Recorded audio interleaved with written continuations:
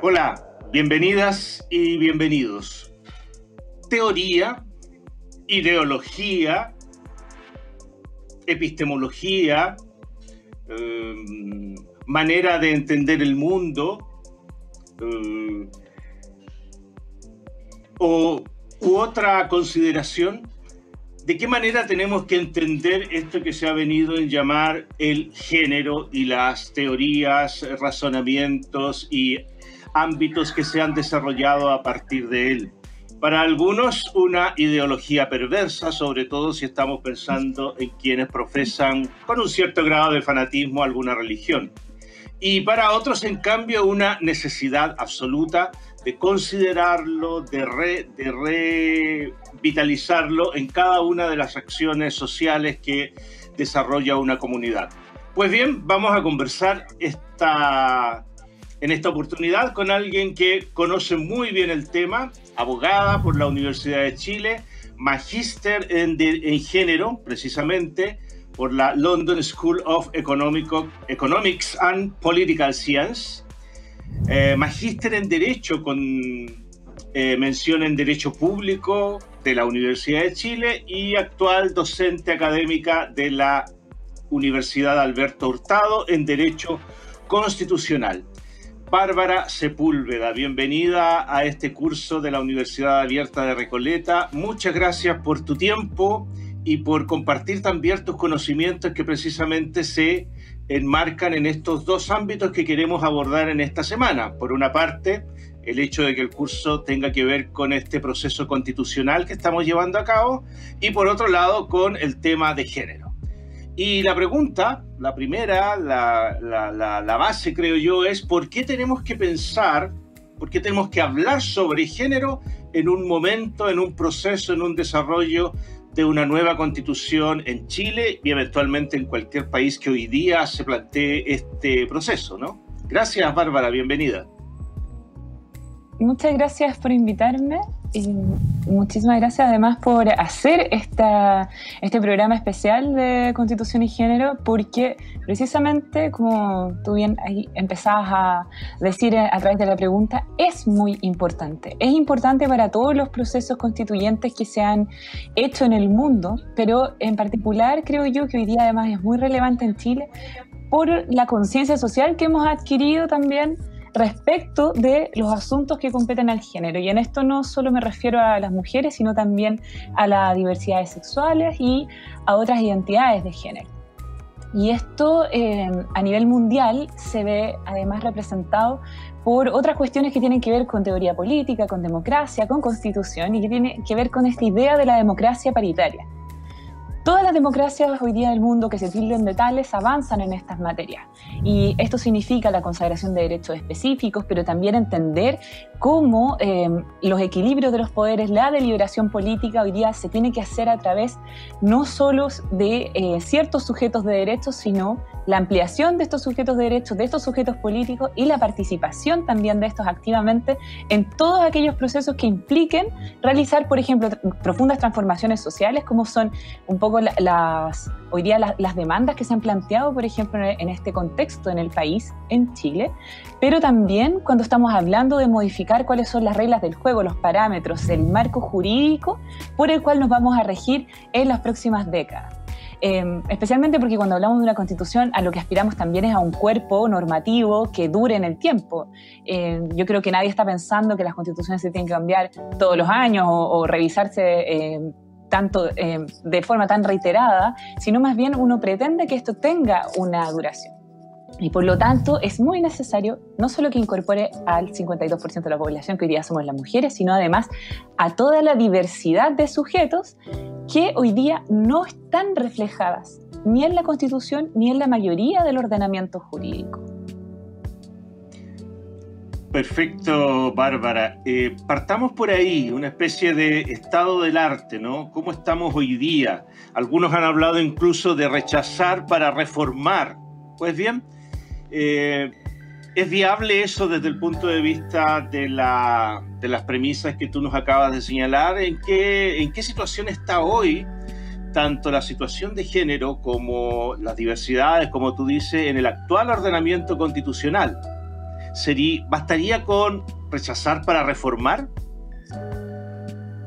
Mira, personalmente eh, yo no comparto esa idea de rechazar para reformar, eh, no solo en términos de género, sino que eh, en sentido general creo que hay un poco de hipocresía en esa, en esa formulación, porque la constitución actual, la constitución del 80, es una constitución que sufrió diversas modificaciones, o sea, ha reformado en innumerables oportunidades todas esas reformas, incluso las más grandes, las, más significativas, que son las que, las que más se recuerdan eh, con la reforma del presidente Lago el año 2005, no se lograron los cambios necesarios para poder romper con ciertas cuestiones que eh, son con estos em, defectos de los cuales adolece nuestra constitución actual.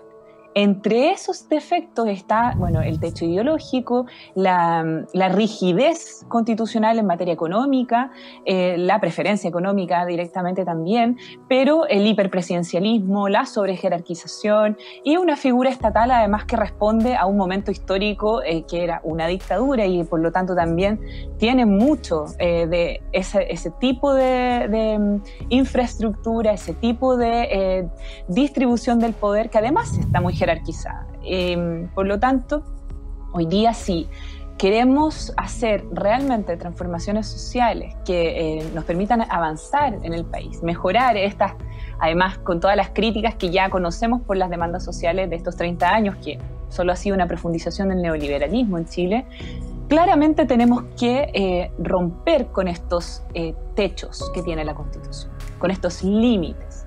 Y eso significa hacer una Constitución nueva esto yo creo que es lo que eh, a ese grupo que dice rechazar, eh, eh, rechazar para reformar le preocupa muchísimo, porque además es un marco que ha permitido también que un sector importante de la población se enriquezca, ha permitido también que la rigidización del poder también, este poder esté concentrado en esa misma élite económica. Y por lo tanto, claro, no les es muy favorable el panorama de que todo pueda cambiar. Eh, yo creo que hoy día, en términos de género, eh, reformar no es suficiente. Y no es suficiente porque también tenemos el ejemplo de la última reforma que se hizo en materia de género en Chile, que fue en el año 99, en la Constitución, la reforma constitucional.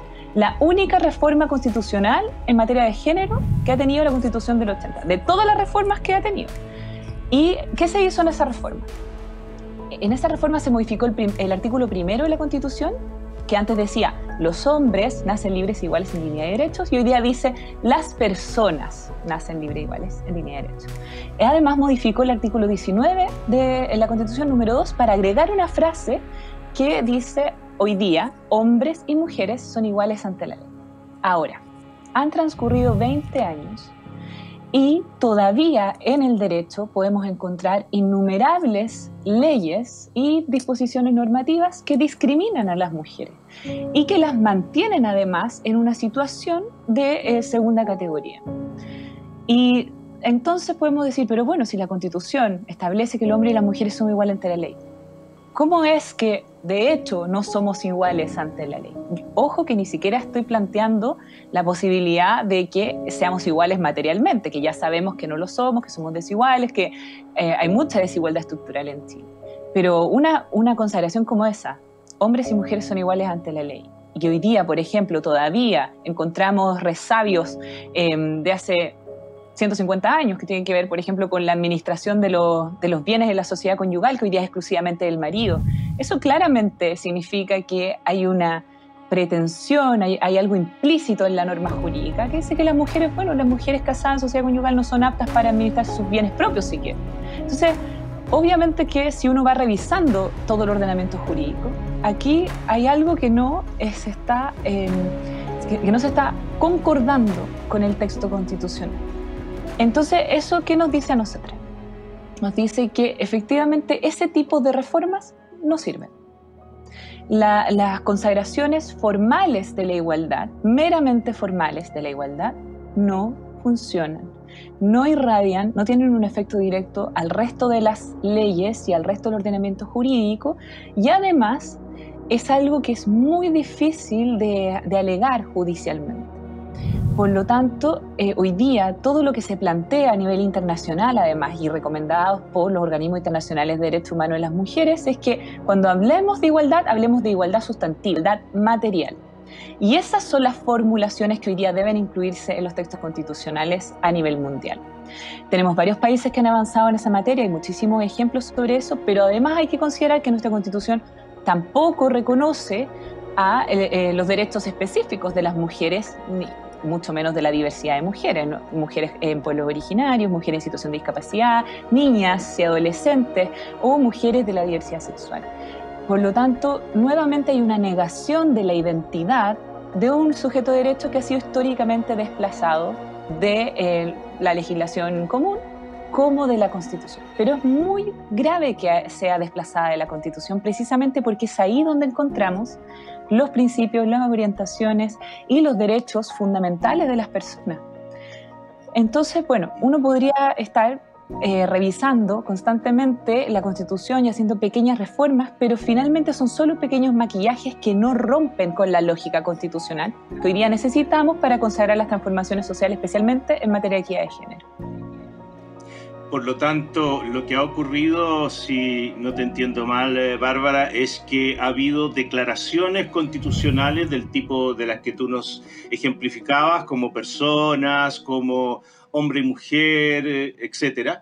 Eh, pero esas declaraciones de principios constitucionales no se han materializado en la norma propiamente tal, ¿no? Porque la Constitución es un, es un marco jurídico eh, a partir del cual deben desarrollarse las normas específicas, ¿no?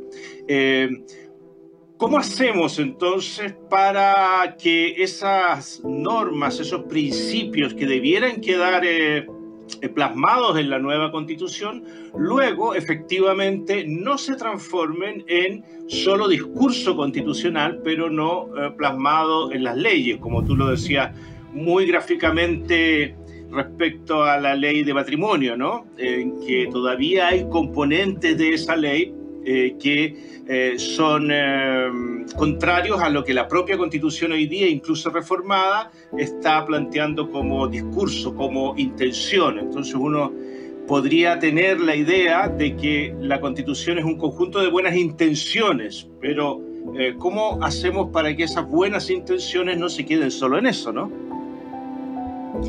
Es una excelente pregunta, porque precisamente lo que necesitamos es avanzar hacia una modificación general de la Constitución, es decir, una nueva Constitución.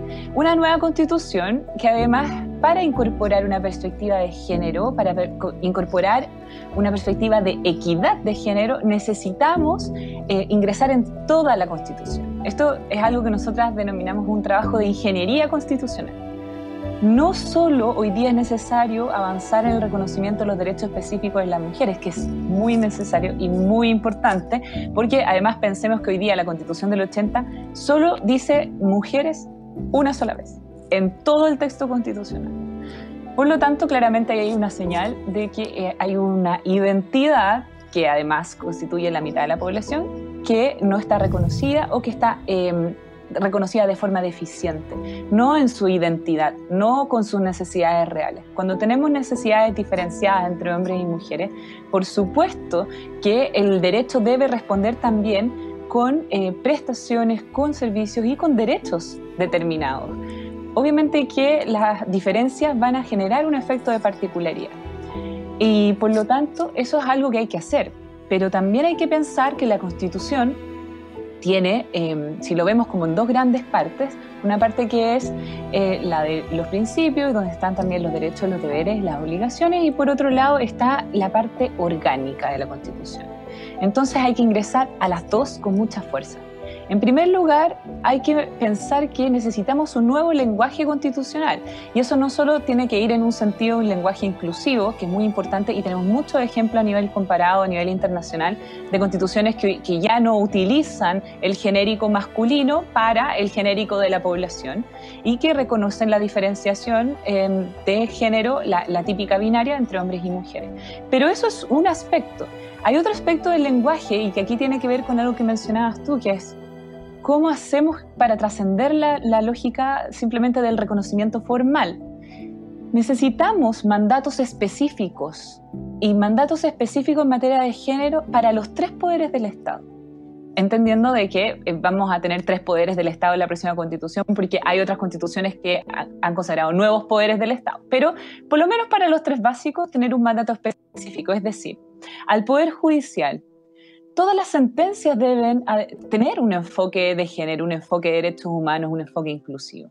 No puede ser que a través de las, de, las sentencias judiciales se esté generando discriminaciones específicas en el caso a caso. Esa es una orientación que hoy día existe en el Poder Judicial, pero sin embargo todavía es algo que se entiende como una buena práctica para poder trascender la idea de la buena práctica, eso debiese ser un mandato constitucional. También a nivel legislativo, el poder legislativo tiene que tener un mandato específico para que la creación de nuevas leyes, para que las reformas de las leyes existentes también tengan un enfoque de género, un enfoque inclusivo y de derechos humanos.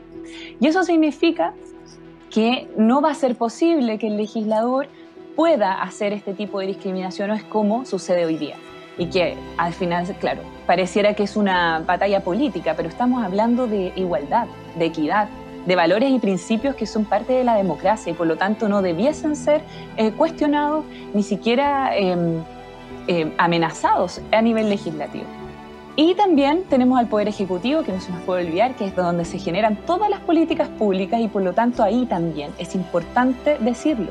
Importante que las políticas públicas tengan enfoque de género, porque además hoy día cuando pensamos en las consideraciones del Estado, dice el Estado debe, el Estado deberá, el Estado hará, el Estado, ¿quién en el Estado?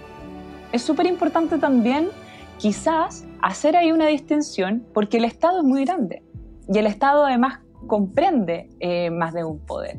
Entonces, hoy día necesitamos también modificar ese tipo de lenguaje.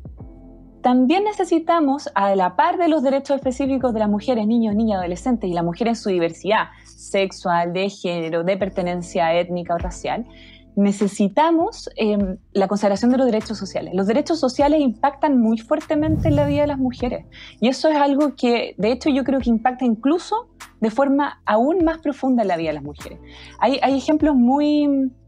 Em, por ejemplo, hoy día está muy de moda a propósito del derecho a la salud, que todo el mundo, bueno, nos damos cuenta porque hay una pandemia y una crisis sanitaria de que falta el derecho a la salud.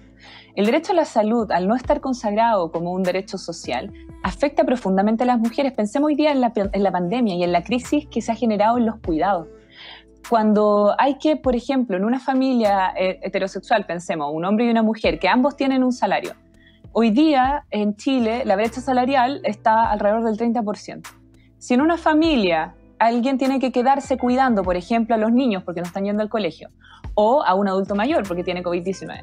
Em, y alguien, alguien, lo tiene que hacer porque el, sistema de salud, el, los hospitales no, no, dan abasto y no los van a cuidar. Y por lo tanto, al momento de decidir quién deja de trabajar, quién renuncia al mercado laboral, por supuesto que la, la decisión de la familia más inteligente va a ser que la mujer deje de trabajar. ¿Esto por qué? Porque en Chile las mujeres ganan menos que los hombres. Entonces, obviamente que eso además va a generar no solo un empobrecimiento de la familia, porque no tenemos derechos sociales, tenemos un Estado subsidiario, el derecho a la salud es totalmente deficiente, sino que vamos a generar un, empobrecimiento absoluto de esa mujer. Y eso además en una situación de dependencia económica, que puede coincidir además con una figura de, incluso de un agresor, pero que además genera en ella una sobrecarga emocional y un trabajo que está invisibilizado, no reconocido y no remunerado. Esto hace, este efecto, por ejemplo, que aquí no existe el derecho social a la salud, genera un efecto como de bola de nieve cuando hablamos de los cuidados permanentes y que va a agravar la situación socioeconómica de las mujeres en particular. Hay miles de mujeres en Chile en esta situación hoy día y además no solo se están empobreciendo, sino que están afectando su salud mental. Por lo tanto, hay un segundo problema de salud, porque esas mujeres desarrollan el síndrome de la cuidadora, que es un síndrome además que una patología asociada a la depresión tenemos que pensar al mismo tiempo que cuando no tenemos los derechos específicos de las mujeres en la Constitución, ¿dónde los vamos a estar buscando constantemente en el ámbito internacional de los derechos humanos, porque es el único, ahí son las únicas cartas, son los, únicos documentos jurídicos a los cuales vamos a poder apelar cada vez que eh, además se nos vulneren específicamente nuestros derechos.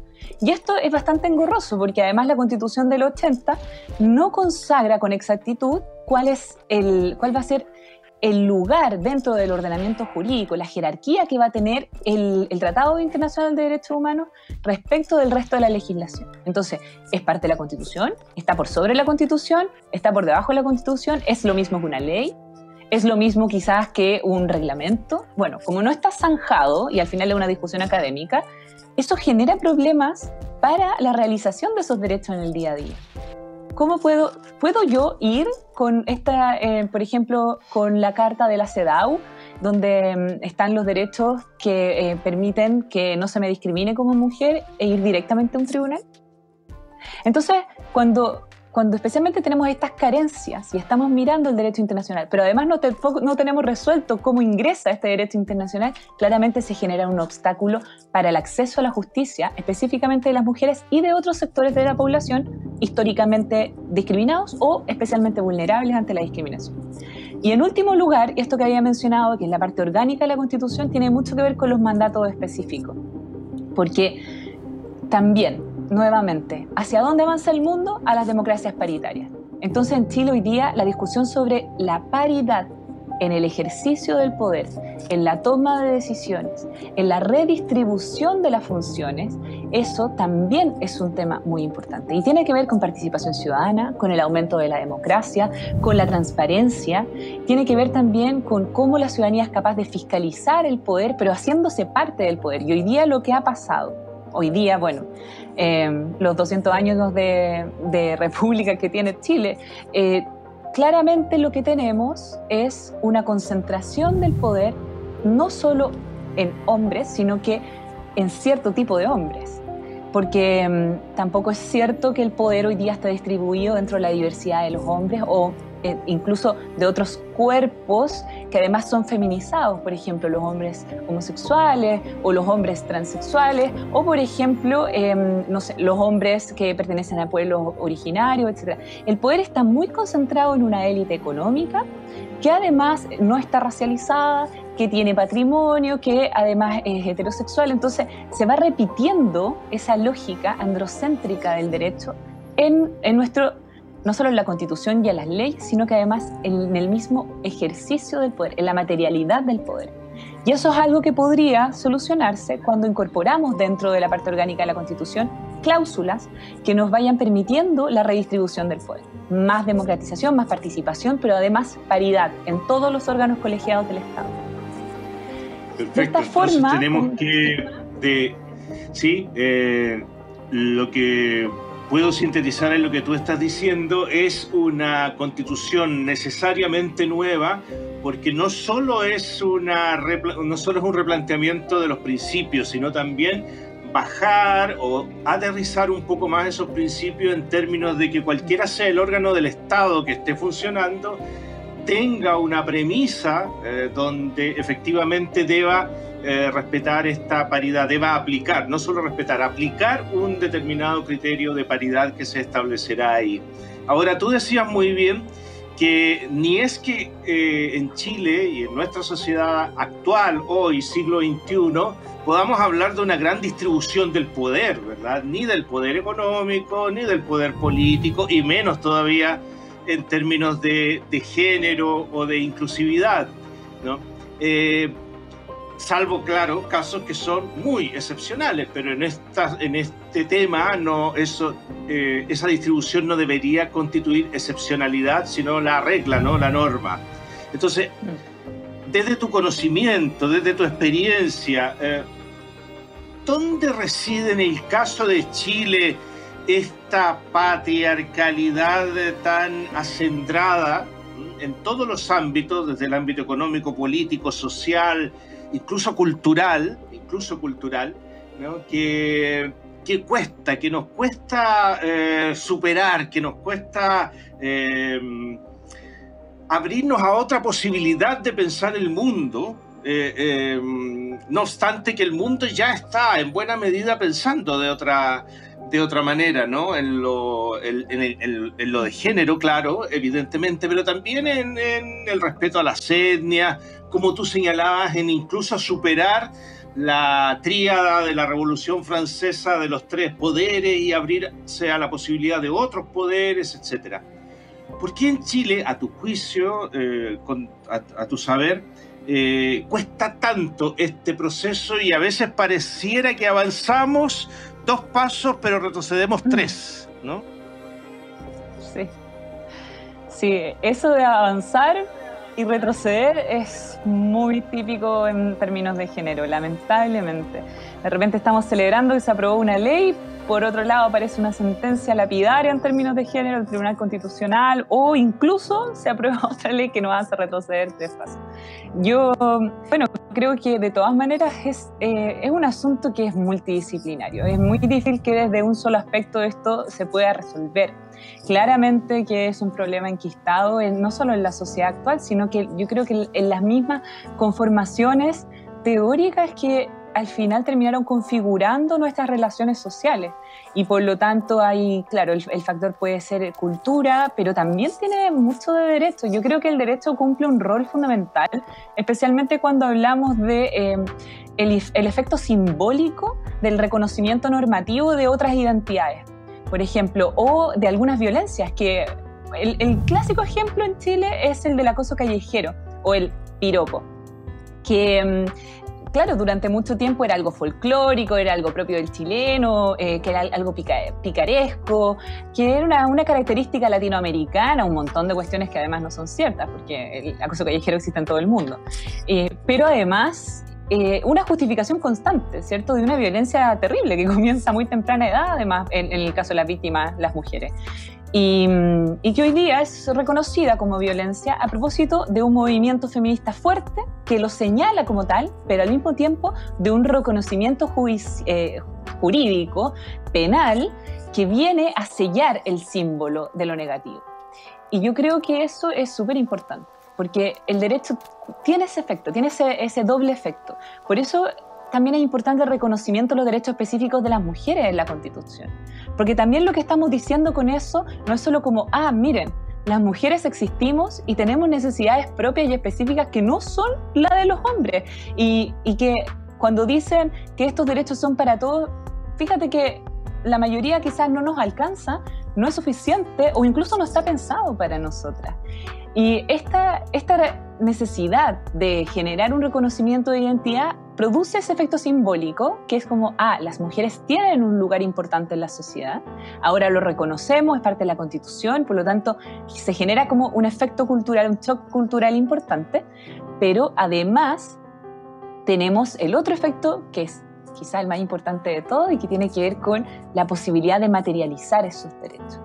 Por eso queremos avanzar en cláusulas de sustantividad y no solo en cláusulas formales. Y por eso además cuando eh, reconocemos los derechos específicos o los derechos sociales, tenemos que asociarle a esos derechos garantías judiciales para que estos derechos se puedan hacer valer. porque si tú lo piensas, hoy día la Constitución del 80 tiene un recurso de protección que solo protege ciertos derechos, escogidos con pinza, por supuesto, y mientras esos derechos más se parecen a un derecho social, menos protección tienen. O simplemente no la tienen. Y en ese sentido también necesitamos la posibilidad de judicializar todos los derechos que tengamos, que no estén escogidos con pinzas, porque es la única manera también de poder exigirlos cuando estos derechos son amenazados o vulnerados. Tengo que poder eh, demandar, tengo que poder decirle a un tribunal, mire, esto me está pasando, ayúdeme a hacer que se cumpla mi derecho, especialmente cuando hablamos de las igualdades. Entonces, claramente que podemos aportar mucho desde el marco jurídico constitucional para lograr una transformación social, pero que de todas maneras va a requerir un componente cultural, educación, formación, capacitaciones, también un compromiso de políticas públicas, la voluntad política de los gobiernos para materializar, por ejemplo, poner el presupuesto para prevenir la violencia cuando hay que ponerlo. Em, que no simplemente estemos consagrando normas penales o simplemente aumentando las penas, porque eso claramente no va a generar el efecto disuasivo porque la violencia de género se sigue produciendo porque está normalizada, porque está naturalizada. Y porque además dentro de esa naturalización también está la posición de la mujer en la sociedad, que históricamente y por la herencia propia nuestra del constitucionalismo moderno europeo, también es una situación de ciudadanía de segunda clase. Por supuesto entonces que al ser multidisciplinario el abordaje es muy complejo para el derecho dimensionar todo, pero donde el derecho pueda aportar tiene que hacerlo. De todas maneras tenemos que transformar al derecho en una herramienta para el cambio social. Es muy importante entonces la acción del derecho, Bárbara, y entonces uno se preguntaría cómo estamos por casa, ¿no? Porque yo pertenezco al mundo de la educación y claramente en educación los hombres eh, tenemos, o por lo menos yo, y conozco muchos más, tenemos claridad sobre el aporte sustantivo que hacen las mujeres al, a los procesos educativos, a los cambios, en fin, porque mayoritariamente son mujeres quienes abrazan la carrera docente. Sin embargo, sin embargo, en los órganos representativos eso tampoco necesariamente queda reflejado, ¿no? Hay que también ser autocrítico en ese sentido. Pero, ¿qué pasa en el Poder Judicial?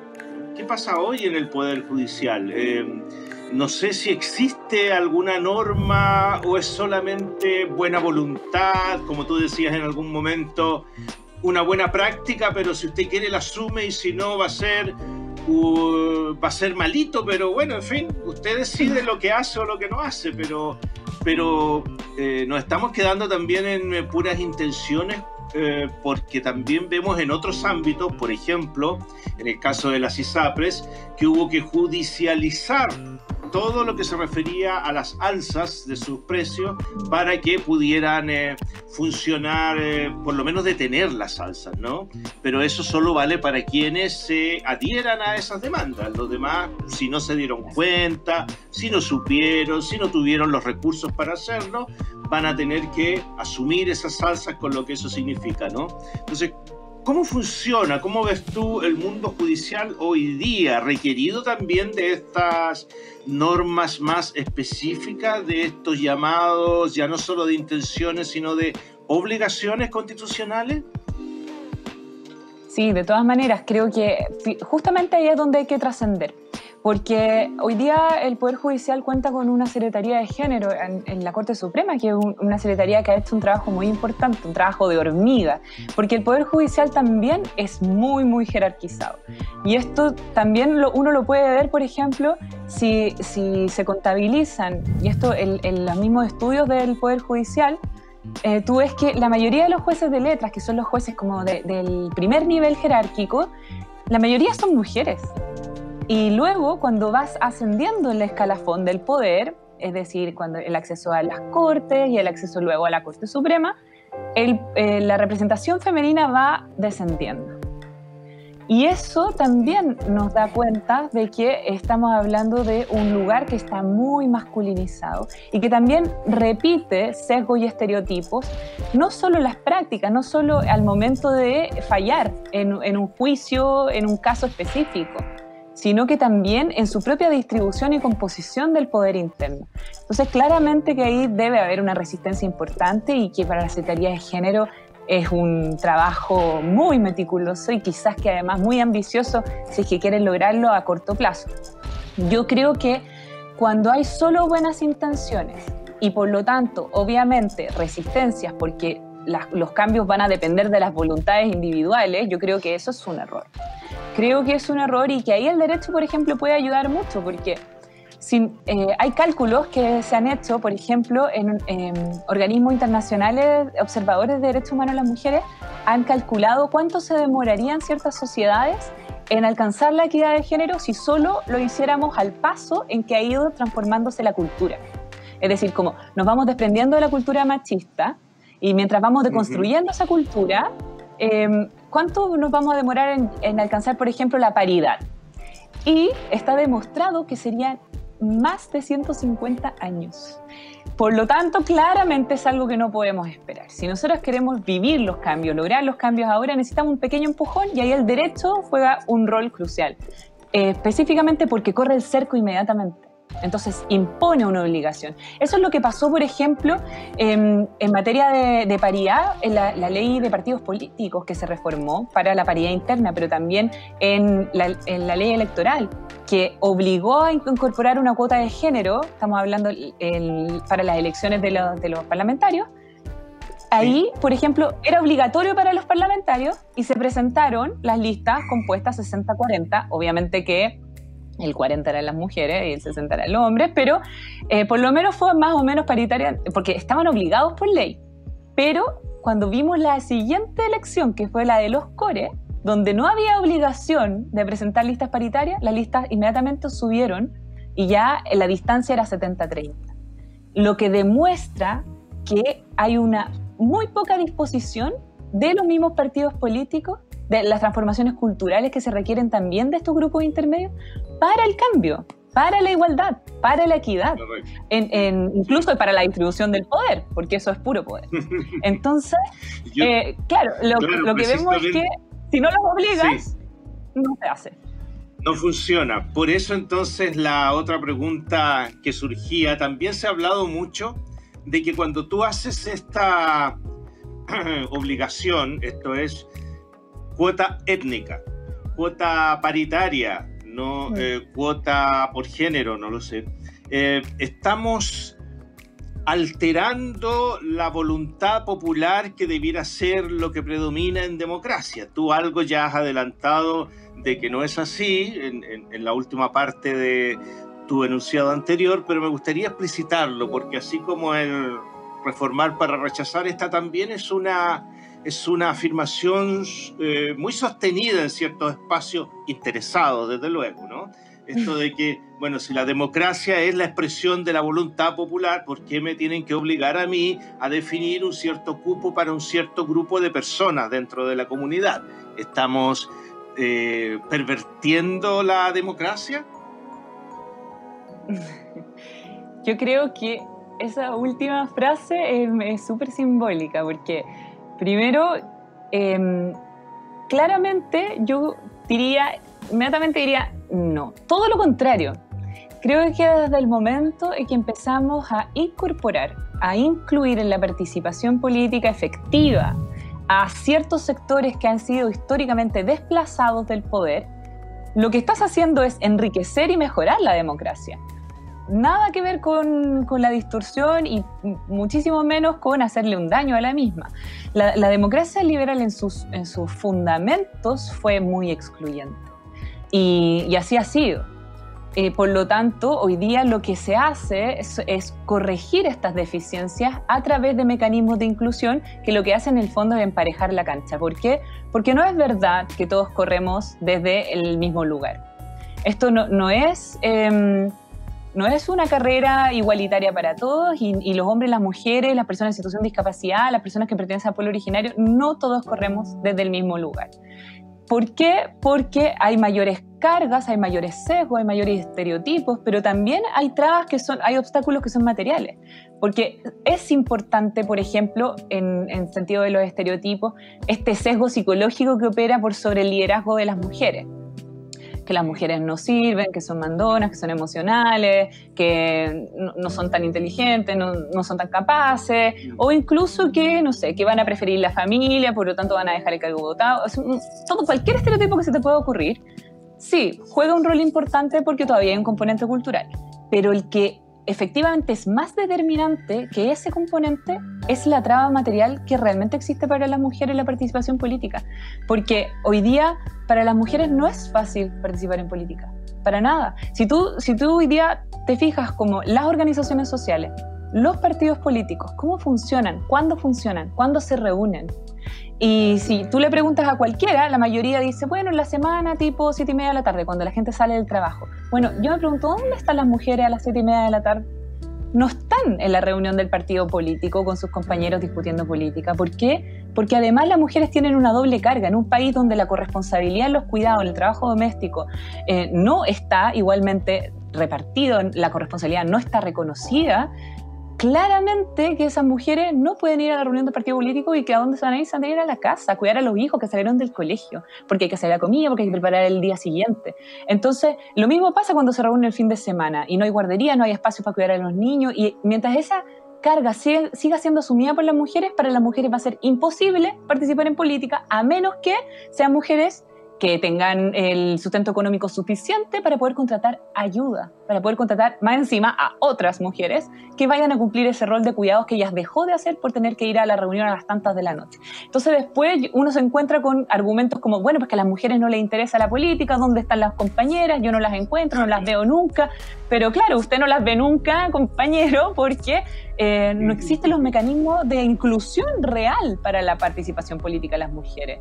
Entonces, eso tiene que ver con la desigualdad estructural, eso tiene que ver con la desigualdad económica, que además afecta mucho más a las mujeres y tiene que ver también con la imposibilidad de la autonomía cuando la mujer está relegada a la obligación del trabajo doméstico. Entonces, claro, eh, tenemos estos factores que hoy día los partidos políticos no rompen, mantienen esos techos, son, son techos culturales, pero a la vez, bueno, hay un problema mayor, mucho más grave, que tiene que, que un problema social. Entonces hay que encontrar las formas de conciliar em, estos espacios para que las mujeres puedan participar, a la vez de que tenemos leyes que obligan a los partidos políticos a acelerar esos procesos. Porque además, si pensamos en nuestra propia ley de, paridad, que es la ley, en el fondo, la del 60-40, que rige para los parlamentarios, es una ley que tiene una fecha de finalización. Y la última elección en la que se aplique, que va a ser la del 2029, hasta ahí, hasta ahí quedamos. Entonces yo me pregunto, para el año 2030, ¿habremos eh, logrado romper tanto con eh, los obstáculos psicológicos, culturales, como con los obstáculos materiales? Yo lo dudo. Por lo tanto, es importante que estas leyes además se mantengan en el tiempo mientras sean necesarias y que el efecto temporal sea así, pero cuando tengamos un resultado favorable. Mientras no lo tengamos, tienen que permanecer. Claro, si tú nos mencionabas aquel estudio que habla de 150 años y todo sigue sin grandes cambios, evidentemente que sostener una ley durante 10, 15 años es una, es una utopía suponer que va a cambiar sustantivamente la cultura. Y precisamente lo último que tú decías, Bárbara... Sí. Eh, respecto a lo del voto que se me olvidó mencionar, lo que tú, tú lo dijiste, es súper importante, lo como de porque últimamente hubo una campaña de desinformación muy grande eh, sobre la ley de paridad ahora para el proceso constituyente que tenía que ver con esto de meter la mano en la urna. Y eso, primero, es una tremenda mentira y yo creo que es súper importante señalarlo así porque o, alguien que lo inventó estaba muy desinformado de cómo funciona el sistema político en Chile, porque el sistema electoral chileno, especialmente en el, sistema parlamentario, elección parlamentaria, es el sistema de representación proporcional de ONU. Lleva un sistema de representación proporcional, es decir, que va a privilegiar los pactos, las listas de partidos políticos y eh, los votos que obtengan las personas dentro de esas listas van como un pozo común. Y ahí luego se hace una redistribución de los cargos de acuerdo a la proporcionalidad en el resultado del voto. Por lo tanto, cuando la gente dice como meter la mano en la urna es porque está pensando en términos que además hay muy pocos lugares en el mundo donde se vota así, que es como una persona, un voto, y el voto pesa como cuántos, cuántos votos tiene cada candidato y si sacó más votos ganó y así el siguiente. Eso así no funciona en Chile. Ese sistema no existe. Lo que en Chile hay es esta distribución proporcional y por eso es que hay hoy día diputadas y diputados que salieron con menos del 2% de los votos, algunos con el 1% de los votos y hoy día son legisladores. Porque ese es el sistema que tenemos. Por lo tanto, poner hoy día un, factor agregado como es la paridad de género en el resultado de la elección es simplemente em, incorporar un mecanismo que eh, es tanto como la definición de cuántos cupos se asignan por territorio. Es lo mismo. Hoy día tenemos em, distritos que eh, se les dio mayor representación de la, de la representación real en cantidad de, de, personas que habitan ese lugar, porque era importante hacerlo, porque si no iban a estar siempre subrepresentados. Entonces, claro, cuando hablamos de factores territoriales nadie dice nada. Cuando, o cuando existía el sistema binominal y decía, bueno, siempre ganan los dos partidos más grandes. Hoy, eso, esas discusiones hay que darlas, yo creo, cuando uno está pensando un modelo de, democracia, un modelo de elección que sería, claro, ese sí, un voto para cada diputado o, cada, o cada candidato y ahí se van sumando. Pero hoy día eso no es real. Por lo tanto, la paridad no altera en nada el, mecanismo electoral. De hecho, lo mejora, porque hoy día lo que significa es que aumentamos la representación. Al igual que cuando discutimos los distritos y dijimos hay regiones que tienen que tener más representación, aunque sean menos en población. Y hoy día más encima lo que estamos diciendo es las mujeres son la mayoría de la población y están subrepresentadas, por lo tanto hay que aumentar la representación. ¿Por qué? Porque los hombres están sobre representados. Y eso es una realidad. Hay menos hombres y están mucho más representados, por lo tanto están sobre representados a nivel político y las decisiones. Y eso no es justo, no, no es correcto. E incluso si lo, en la misma lógica de estas personas que dicen como un ciudadano, un voto, así, uno a uno, matemáticamente, no es correcto.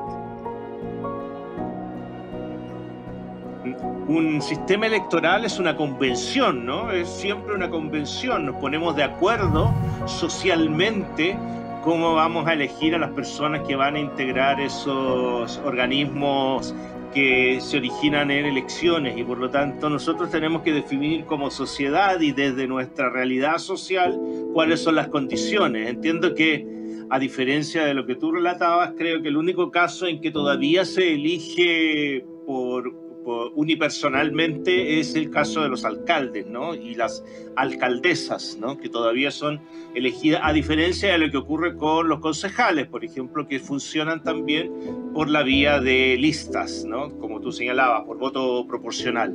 De modo entonces que ahí llegamos, eh, Bárbara, a una consideración que me parece muy importante desde el punto de vista de tu actividad como abogada, como como defensora de, la, de los derechos de las mujeres, porque tiene que ver con el cotidiano, desde la perspectiva del derecho, desde la perspectiva también tuya como profesional, ¿qué hacemos o qué podemos hacer hombres y mujeres eh, en esta línea de hacer ver la necesidad de que la Constitución incorpore esta perspectiva no solo enunciativamente, sino también eh, de manera determinadamente sobre el género. ¿Qué hacemos en nuestro cotidiano aquí y ahora, de aquí, digamos, a octubre, cuando se va a hacer la, el plebiscito de entrada, ¿no? Que por de pronto ya tenemos una situación ahí en que, si no, mal no recuerdo, el plebiscito de entrada es voluntario. En cambio, el plebiscito de salida eh, cuando ya esté redactada la constitución, va a ser obligatorio, de voto obligatorio.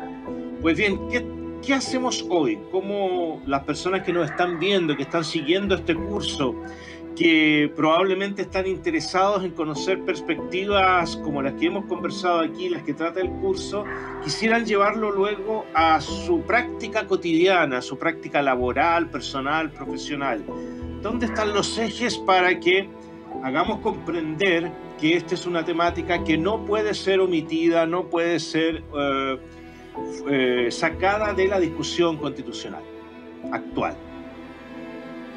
Yo creo que cada persona que hoy día se interesa en tomar un curso constitucional, evidentemente es un posible motor de cambio y es un, posible también em, amplificador de todas las ideas de transformación social que hoy día se están gestando en Chile y que además yo creo ni siquiera hay que ser un experto para saber qué es lo que queremos vivir y qué es lo que no queremos vivir. Basta con experimentar la vida día a día en este país.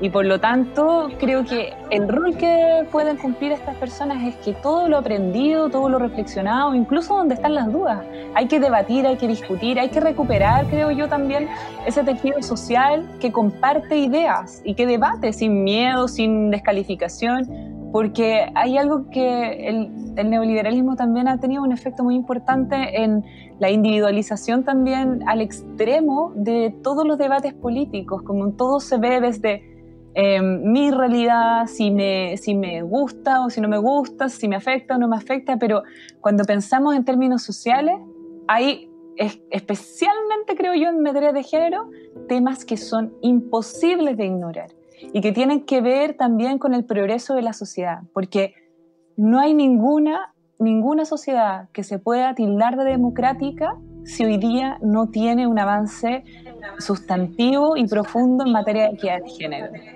Yo creo que tiene que ver con la desigualdad estructural que tiene que ver con la desigualdad económica. Creo que sí. Si las mujeres no, si no existiera una brecha salarial entre mujeres y hombres, evidentemente las situaciones de vida de miles de familias o de todas las familias de Chile mejoraría. O sea, claramente que cuando hay eh, carencias y cuando hay discriminaciones específicas, todos nos vemos finalmente afectados, porque Chile es diverso, porque la composición social es diversa y por eso tenemos que empujarnos entre todos. Y ya no podemos seguir ignorando estos problemas porque son realmente cuestiones que se enquistaron en nuestra sociedad y, y ya, bueno, explotó, ¿cierto? O sea, el estallido social es eso, es una explosión de todas las demandas. Y, y la demanda de género, diría, la demanda feminista no puede ser ignorada. Evidentemente tenemos que transformar una sociedad, pero para todas y todos, porque si no, lo único que vamos a lograr es repetir las mismas fórmulas del pasado, vamos a seguir excluyendo a las mismas personas que además coinciden con la mayoría de la población. Cuando pensamos en términos de las demandas feministas, también hay que pensar que el feminismo es una punta de lanza. Cada vez, cada vez que se discute, por ejemplo a nivel legislativo, una modificación que beneficie eh, la situación de las mujeres que están em, de alguna forma vulneradas o, están en una situación, por supuesto, no sé, em, sufriendo algún daño específico o discriminación particular, inmediatamente detrás vienen otras demandas. No sé si te has dado cuenta, como con la demanda de la paridad, vino inmediatamente la representación de los pueblos originarios, inmediatamente la representación de las personas en situación de discapacidad, de las personas de la diversidad sexual. Y eso tiene que ver porque lo que estamos planteando es un problema que está en la estructura, en el modelo democrático, en el modelo de Estado, en la forma en que eh, creamos nuestras leyes, en la forma en que vivimos. Por lo tanto, claro, hoy día reconocer estos derechos, avanzar en estas materias, ser portadores de estos cambios, significa también tomar conciencia de la realidad de la mayoría de la población. Porque para eso queremos transformar Chile, para todas y todos, no para lo mismo de siempre que se ven privilegiados y beneficiados cuando estos cambios son pequeños, cuando estos cambios son maquillaje, cuando son solo reformitas. El cambio constitucional trae esto, y, es, por supuesto, un cambio global, una transformación general y muy necesaria por lo Además de lo saludable que siempre significa la posibilidad de discutir las convenciones mediante las cuales nos organizamos comunitariamente, ¿no? Y parece siempre mucho más saludable una sociedad, una comunidad en la que todos y todas tengamos oportunidad, participación, eh, posibilidad de dar nuestro punto de vista, de hacer el ejercicio de nuestras capacidades. También allí eh, hay mucho de... Eh, mucho que avanzar en, este, en esta etapa, por ejemplo, siempre, siempre lo hago notar en los currículum incluso de colegios, de universidades, donde también se han invisibilizado sistemáticamente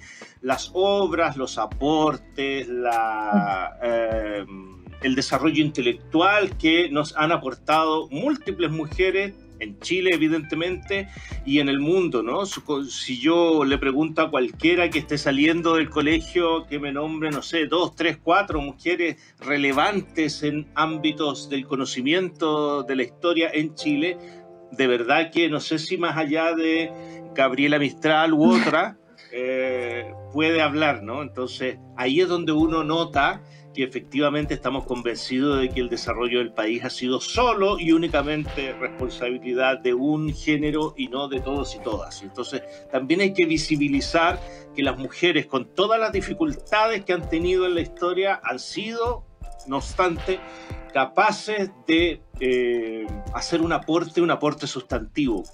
Qué mejor que lo hagan enmarcadas en una en un marco jurídico que efectivamente les permita participación y participación plena, ¿no?